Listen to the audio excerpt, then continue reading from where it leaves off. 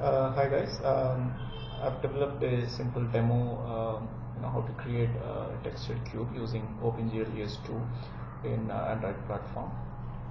Um,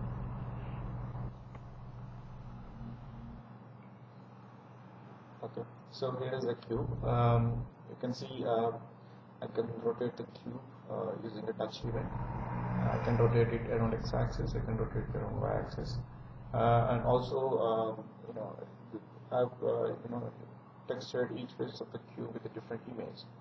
Right, so this face is a different image, and this face is a different uh, image. So all the six faces have different images on them. Um, so I've uh, given the link in the video description uh, for the code, uh, so you can download and experiment, and play around with the code. Thanks for watching. Bye bye.